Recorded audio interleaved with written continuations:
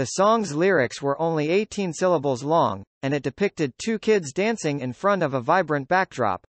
The irritating, monotonous, and infantile video has given rise to products, memes, and migraines. The all-time most watched YouTube video is a baby shark. Presently, it has received approximately 11.2 billion views. That is more than the 8 billion people that now inhabit the planet, as those of you with strong math skills will have figured out. The Korean children's entertainment company Pinkfong, which is owned by Smart Study, created the Baby Shark video that we have all grown to love and detest in 2016. It wasn't the first successful Baby Shark video, but it became quite popular for reasons we'll discuss in a moment. Before the Korean mega hit, there were other sharks. The song has really been around for more than a century. The song is said to have first been performed in the early 20th century when children sang it while dancing around campfires. Alexandra Müller, well known by her stage as Alemuel, released a German version of Baby Shark in 2007 and it quickly became a YouTube success. Alemuel received a record deal as a result of the video's success, and her dance version, Kleiner Hai, Little Shark in German, peaked at number 25 on the German dance charts. American children's performer Johnny only uploaded a version on YouTube four years later. He had been performing at camps for years and had seen how well liked the song was by kids. He therefore made the decision to film a performance and post it to YouTube. Despite these films doing reasonably well, things didn't really take off until Pinkfong joined the shark action. Baby Shark Dance was released on June 18, 2016 by Pinkfong. Hope Segoine, a 10-year-old Korean American, sang in the video while two young actors danced. Very little was noticed on the internet. Even Pinkfong, who produced 4,000 films and tales, didn't have high hopes for this particular one. The video didn't become popular until 2017, and that wasn't related to the production business. The hashtag Baby Shark Challenge was originally used in Indonesia, when individuals started to share videos of themselves dancing to the song.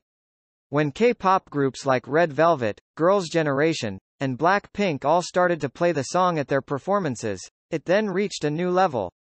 These bands made sure there would be lots of views and imitators because they each had 15.6 million YouTube followers at the time. Or, I suppose, copy sharks. Hashtag Baby Shark Challenge was popular on Twitter by August 2017. From then, it rose to fame in the U.S. thanks to cover performances by stars like Ellen DeGeneres, Josh Groban, Sophie Turner, and James Corden. It entered the Billboard Top 40 in January 2018. The shark had made the leap to the U.S. And why was it so well liked? Actually, the song's success may be attributed to a few beneficial factors. It features a catchy music that everyone can sing along to, an easy dance to follow, plenty of vibrant colors, and most importantly, it is highly kid-friendly. In essence, it fulfills every requirement for success. The song features a straightforward melody that is both catchy and simple to sing and learn.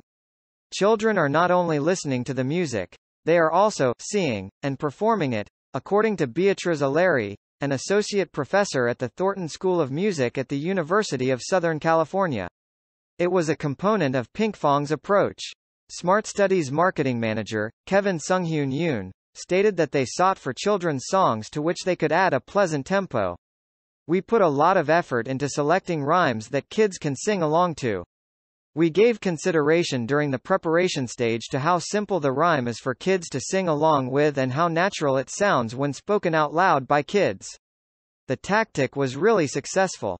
Revenue for Smart Study increased by 47% to $34.3 million in 2018. Smart Study at first appeared content to rely just on the song. As their original video proceeded to get tens of millions of views, they created translations in 20 additional languages. It was a marketer's fantasy, but they were slow to seize the chance. Within weeks, Baby Shark would have been on items all across the world if it were a Disney character. Before Christmas, there would have been a movie and a theme park ride available. Pink Pinkfong waited a while before going into full-on shark mode. They reached an agreement with Kellogg's, which was their first substantial brand expansion effort. Thus, Berry Fantastic cereal first appeared on Walmart's shelves in August 2019 and later Sam's Club. For those who are curious, the cereal is berry-flavored loops with marshmallows. All that sugar sounds fantastic for Baby Shark's teeth.